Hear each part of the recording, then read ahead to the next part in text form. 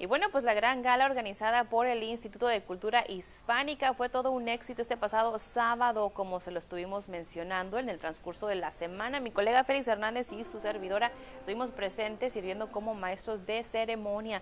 Durante esta gala se reconocieron varios líderes importantes que ayudan a lograr cambios en nuestra comunidad, como lo son la señora B. Hansen, directora ejecutiva del Banco de Alimentos de la zona costera, al igual que la hermana Milagros Tormo, Gabe Guerra y la doctora Nelly Below. El presidente del Instituto de Cultura Hispánica, Xavier González, dice que realizar estos eventos es muy importante para nuestra comunidad hispana.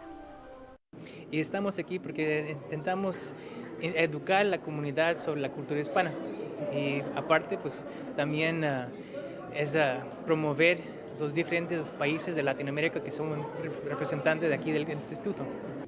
Y por supuesto, mírenlos ahí en la pista, en la pista de baile. Nuestros reporteros Victoria Valderrama, al igual que Javier Guerra, también estuvieron presentes y nuestra jefa Ronnie también estuvo ahí bailando y disfrutando de una buena música.